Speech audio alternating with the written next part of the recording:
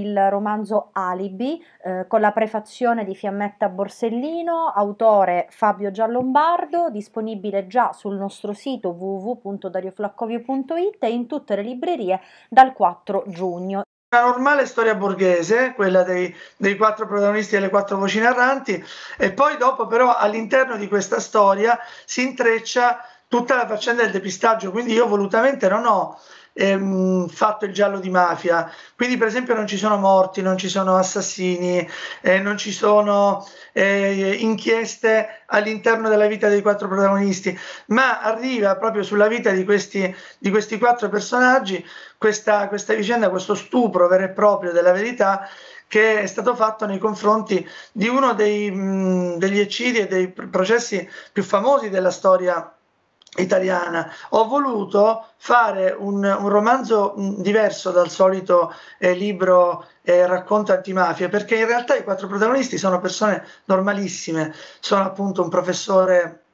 eh, di lettere del liceo, sono una psicologa, eh, una poliziotta e, e, un ragazzino di 16 che, che all'inizio del libro ha 16 anni e poi ne ha 18. Quindi sono persone assolutamente normali che vivono la loro normalissima vita borghese e vengono eh, travolti dalla conoscenza attraverso tutta una serie di vicende di questo giallo e, e quindi aprono gli occhi sugli alibi che come nazione eh, ci, stiamo, ci siamo portati dietro,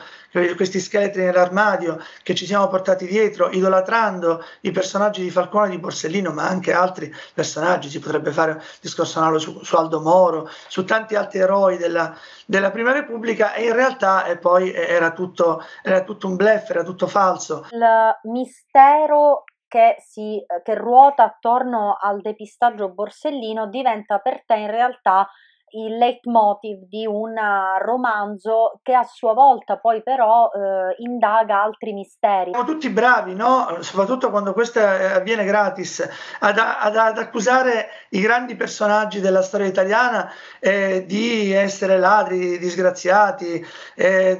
i servizi segreti deviati, tutte queste cose che, che, conosciamo benissimo. Siamo molto più indulgenti però negli alibi eh, della nostra generazione, diciamo degli attuali quarantenni, che invece spesso eh, vivono di, di, autoinganni e ci sono queste famiglie che vivono di, di povertà eh, assolutamente inconfessabili e che, che, poi magari vengono fuori attraverso delle piccole grandi tragedie eh, su cui i telegiornali fanno sciacallaggio. E anche lì a un certo punto nel romanzo succede una tragedia che è quella che sveglia tutti e quattro i personaggi del, del, del, del romanzo. Quindi mh, mi interessava moltissimo, eh, come dicevi tu, far combaciare eh, e mostrare le analogie tra il grande alibi di quello che è sicuramente il più grave depistaggio della storia repubblicana, perché ci sono di mezzo personaggi di tutte, di tutte le categorie istituzionali, ahimè poliziotti, eh, magistrati, politici, è una cosa veramente sconcertante di cui forse le televisioni non hanno parlato abbastanza